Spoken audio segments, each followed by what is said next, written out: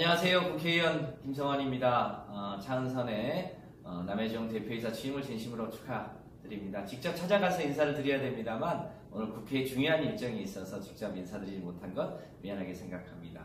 어, 우리 차은선은 제 대학교 아주 친한 친구입니다. 대학교 때부터 굉장히 음악적 재능이 뛰어났고 여러 가지 봉사활동도 많이 했는데 또 어, 노원구 상계동에서 어, 20년 전부터 만나서 다시 이 지역 활동을 같이 했던 아주 친한 친구입니다. 상계동에서 또 어, 린 어, 아이들부터 대학생들까지 어, 여러 학생들을 직접 가르치고 자몽사도 많이 해서 우리 차은선의 음악적 어, 재능 또 음악적 지도 능력은 어, 아마 대한민국 최고라고 해도 과언이 아닐 겁니다.